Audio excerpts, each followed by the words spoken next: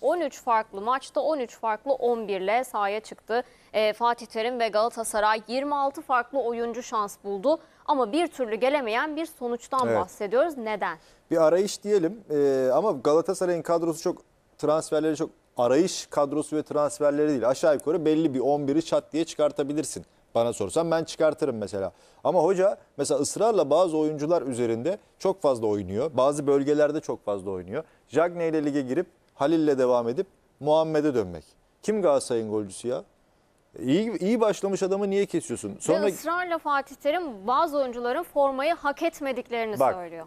Şimdi Galatasaray taraftarını iyi anlamak lazım. Galatasaray taraftarına da süreci iyi anlatmak lazım. Ben belki bu konuda biraz tekrara düşüyorum. Ama sorun ortada duruyor. Fatih Hoca sorunu doğru tespit etmek yerine gerekçeler üretiyor bence. Şimdi bak sorunu çözmenin yolu önce o sorunu tespit etmekten geçer. Diyeceksin ki yara bu, problem bu ve biz bunu nasıl çözeriz?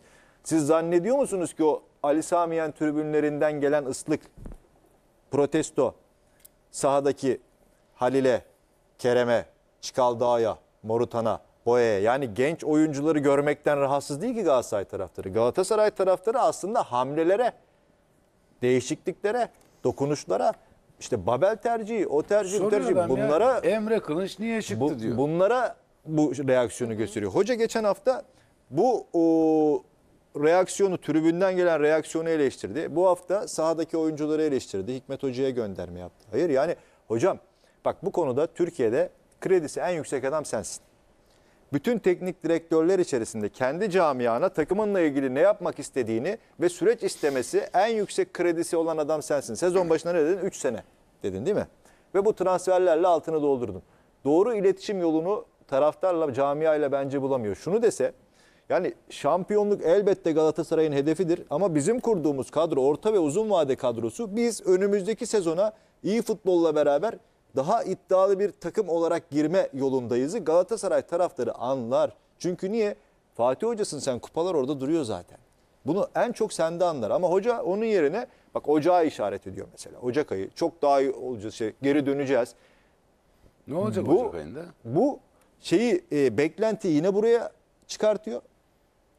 E, olmayınca da hoca bir kere bunu kabullenmesi lazım bence. Galatasaray'ın gerçekten ben bak girdiği o yol var ya bir makas değişikliği yaptı. Ne yapıyor senelerdir? Her sene 8-10 transfer, dünya çapında yıldızlar, büyük büyük paralar, maaşlar falan. Biz hep Dortmund'u, Ajax'ı, Anderlet'i, PSV'yi bunları örnek gösteririz Türk futbolunda değil mi? Niye bu takımlar gibi işte yatırım Gençleşme, yapılmayıp evet. uzun şimdi şimdi bu bir makas.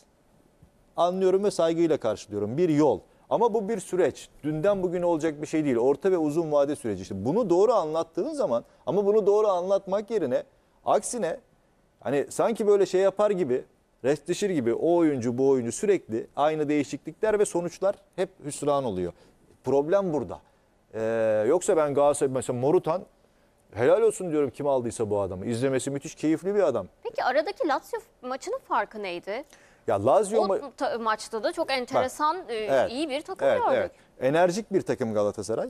Çok enerjik ve genç bir takım. Yani onu o yüzden dedim çok fazla rotasyona ihtiyacı yok. Bırak 21, 22, 23 yaşında çocuklar oynasınlar. 3-4 günde bir maç çıkartır e, bu kadro. E tempo yaptı. Öbür maçlarda çok yapmadığı tempoyu yaptı. Bunu zannetti ki şeyde de sürdürebilirim. Hemen üç. Bak her maçın kendi içerisinde ayrı dinamiği vardır. Lazio sana oynamaya gelir puan almaya gelir. Sen iki hamlenle ya da iki fazla attığın deparla onun dengesini bozabilirsin. Ya da işte e, Immobile o gün gününde değildir. Bunlar fırsattır. O gol kaleci elinden kaçırıyor ama o topun oralara gelmesi, Galatasaray'ın yüklenmesi hepsi hak edilmiş bir galibiyet. 90 Tabii. dakika boyunca Tabii çok var. hak edilmiş bir galibiyettir Lazio maçı. Ama şimdi öbür maçlarda rakipler Galatasaray'la oynarken Lazio gibi değil. Kim kendi sahasında duruyor? Kim kontra atak kovalıyor? Kim dört oyuncuyla geliyor? Bunların hepsinde rakip analizinde de bence problem var. Hala bir şu, şu anda şeyde Galatasaray yani bir an yaşayacak, bir karar verecek. Tamam mı? Fatih Hoca burada tercihini yapacak. Yani bu süreci camiaya daha iyi anlatıp belli oyuncuların üzerinde ısrarla duracak ya da yok işte şundan kaynaklandı, bundan kaynaklandı deyip yine tercih ve oyuncu değişi ısır, ısrar edip süreç başka bir yere gidecek. Ben e, dediğim gibi bu kadro dört büyük içerisinde, dört büyük takım içerisinde yarına dair, yarına derken bu sezondan daha çok bahsetmiyorum. Her Haziran'da 10 transfer yapan Galatasaray'ın bu Haziran'da sizce 10 transfere ihtiyacı var mı? Bence yok. Hayır. Kullanabilirse kadroyu çok iyi kurdu. Kullanabilirse. İkisinden faydalansa ya da ikisini 7'ye aldığı adamı 20'ye satsa 15'e satsa bu bile bir şeydir. Ee, dört büyük içerisinde yarına dair en çok hayal kurduran kadro bu bence. Ee, bugün verim almamıyor olabilir ya da hoca tercihleriyle hikaye çok iyi bir yere gitmiyor olabilir. Ama sabır meselesi Galatasaray gibi Türkiye'de en çok şampiyon olmuş, en çok kupa kazanmış bir kadroda şey bir camiada bile çok kısa tutulacaksa e zaten bizim takımlarımız e, yani o, o serüvene o bahsettiğimiz Avrupa'nın örnek takımları serüvenine girme şansı bile yok. Bu bir girme yolu. Peki sabra mı ihtiyacı var e, Mehmet Emin Uluç Galatasaray'ın yoksa bir saha içi liderine mi ihtiyacı var yoksa bu durumu Fatih Terim'in formsuzluğuyla mı açıklamak lazım? Sen ne dersin? Galatasaray'ın Fatih Terim'e ihtiyacı var. Fatih Hoca lige başlarsa o zaman bir şeyler toparlanır gibi görünüyor. Ee, geçen o Sergen Hoca'ya biçtiğimiz kaftanı ben an itibariyle büyük kulüplerde Vitor Pereira'nın sırtına koymuş durumdayım. Ee, Fatih Hoca Galatasaray'ın en formsuzu gibi görünüyor. Sahaya sürdüğü kadroları eleştirmiyorum ama oyun içinde yaptığı eleştirilere benim de söyleyecek bir şeylerim var tabii herkes gibi ben de anlam veremiyorum. Yani oyuncu değişikliğinden beklentiniz şudur.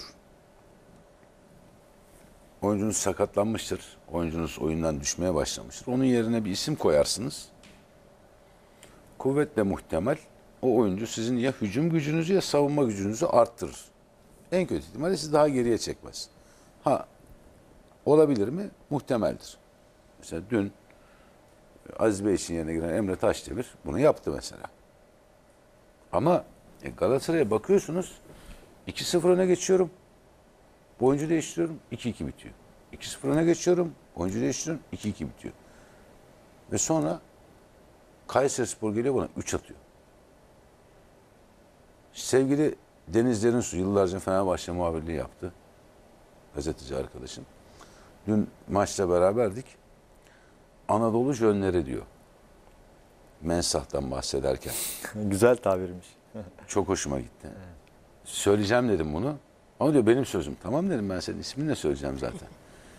Şimdi Galatasaray kimler yıktı? Mensah yıktı. Emrah Başsan, Tiam. Tiam. Tiam. Tiam. Birisi Beşiktaş'ta, diğeri Fenerbahçe'de. Olmadı. E bakıyorsun şimdi Mensah 2 gol 2 asist oynuyor 4 maçta. Tiam 3 gol 1 asist oynuyor. Beşiktaş'ta ne yapmış Mensah? Burada ne yapmış ve ne yapıyor? Yani bir pozisyon var Mensah'ın. Yatırdı, kaldırdı, çalımladı, döndü, bir daha yaptı, bir daha yaptı. Ne yapıyorsunuz siz orada? Bu arada şimdi boya yok, Yedlin var. E bakıyorsun hani altyapıdan hasbel kadar işte belki bugün Beşiktaş'ın forma vereceği oyuncu değil. Golcüleri konuşuyoruz değil mi? Jagne mi, Halil mi, Muhammed mi? Ya o, bu ya da şu. Ama sen orada oynuyorsan en azından fiziksel anlamda bir o formayı zaten giyen oyuncusun ya. A takım oyuncusun sen ya. Kerem çıkıyor, Emre çıkıyor, Feguli girdi, Babel girdi. Ne yapıyorsunuz siz? İşte Babel sosyal medyadan tweetler atıyor böyle. Gönderme yapıyor taraf Sürekli herkese, Evet. her alayına giden bir Beşiktaş'ta da adam. yapıyordu bunu. Sürekli bir gönderme. Ya arkadaş sahada bir şey oyna ya. Bir şey oyna o sahada. Ve oyuncu performansları bu durumdayken o zaman iş Fatih Hoca'ya dönüyor. Fatih Hoca şeyi çok sever. Başarı futbolcuların başarısızlık benim. Böyle açıklamalar. Hocam kusura bakma şu andaki durumda senin eserin o zaman. Ya oyuncu değiştiriyorsun. Önde olduğun maçı iki farklı önde olduğumu hadi Trabzon. Peki Fatih Terim ne düşünerek ocağı işaret ediyor sana göre? İşte asıl merak ettiğim konu o. Galatasaray'ın özellikle son dönemine bakıyorsun devre arası yaptığı transferlerle iğme kazanan bir takım. Ya ben bunu sezon başında kabul etmiyorum. Bak bir kere olur, bir sezon olur. Mesela bir sezon Galatasaray ön liberoları değiştirmişti. Bak, gittiler yenileri geldiler. Bir sezon savunma göbeğini ikisini birden değiştiriyor. İşte Markolar, Lündemalar. Ama bunu anlamıyorum. Yani bugün bütün takımlarımız dahil sezon başı transferlerinin bu kadar geç gerçekleşmesini, takımların geç sezona girmesini anlamıyorum. Şimdi ligin hala hazır değil diyoruz. 6. bugün 7. hafta başlıyor. Takımlar hazır değil. Hazır lige hazır değiliz. Ya lig başladı. 6 maç oynandı. 7.ye başlıyoruz. Biz şey planlıyoruz işte 9. haftadan sonra işte milli takım arasından sonra.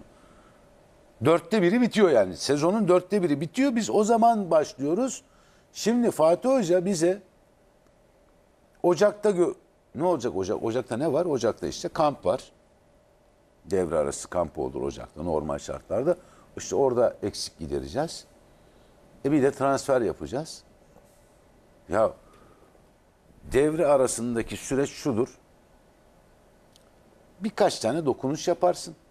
Fiziksel anlamda. Yükleme yapmazsın yani. Sezon başı yüklemesi yapılmaz. Öyle Evet. o dönem orası değil yani. Öyle vakit de yok zaten. Transfer ya biz bakıyoruz 3 tane, 4 tane, 5 tane kadro kurar gibi transfer yapıyoruz devre arasında. Yani sence Fatih Terim e, ocağı işaret ederek transferi mi işaret etti? Ya- bir cümle alayım bu arada. Transferi işaret ediyor da sezon başı ne kadar doğru ki sezon içi ne kadar doğru olsun yani.